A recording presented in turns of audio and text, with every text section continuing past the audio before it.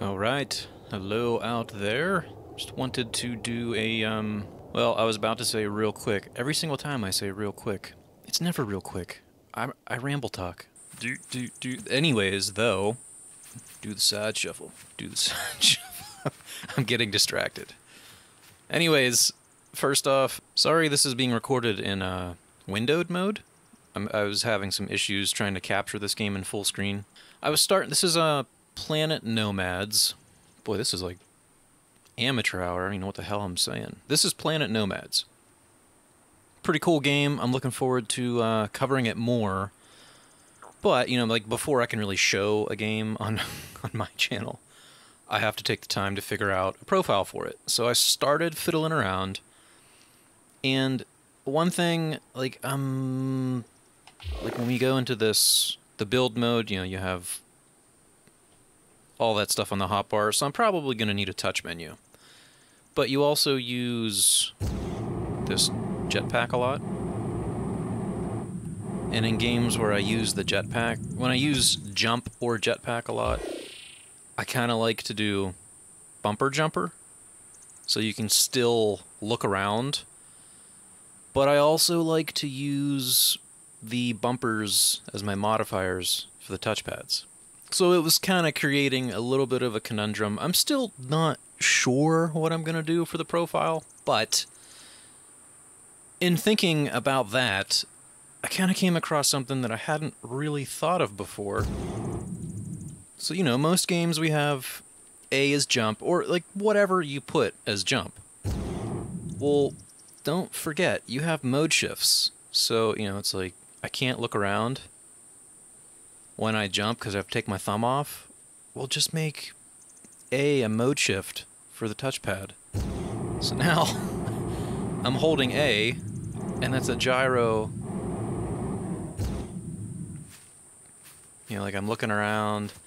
I'm gonna jump, and I need to move to the left. Well, piece of cake. I have the gyro. So all I did was gyro. And I have A button as the mouse. Now this is something important to remember. So this on the A button, put the gyro to always on. So as long as A is being held, gyro is always on.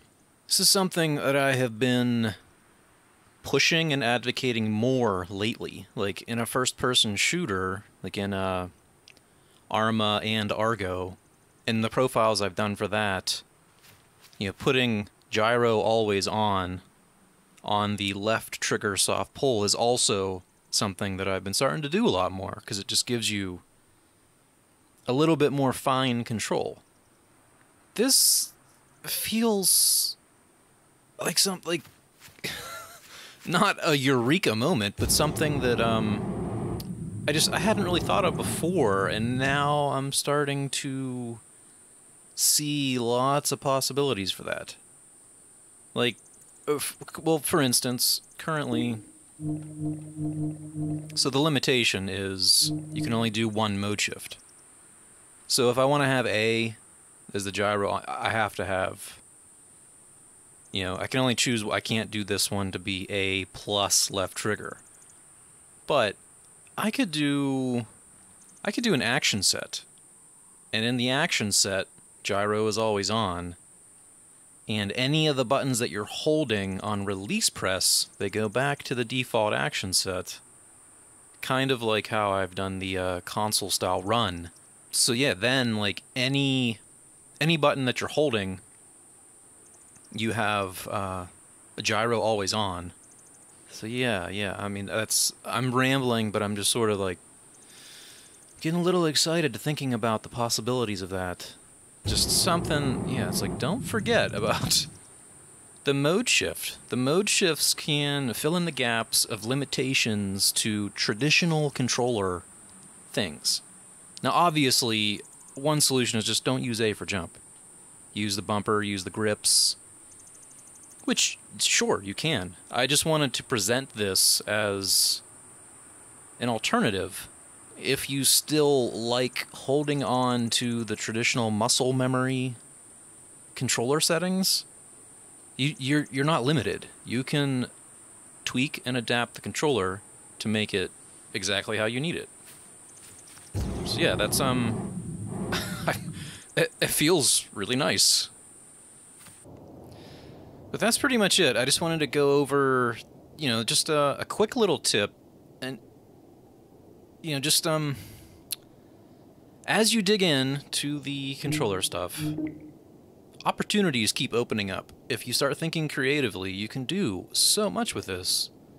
So even that, where it's like you're limited by the jump on traditional games that you can't move, like how Mirror's Edge would put jump and Titanfall.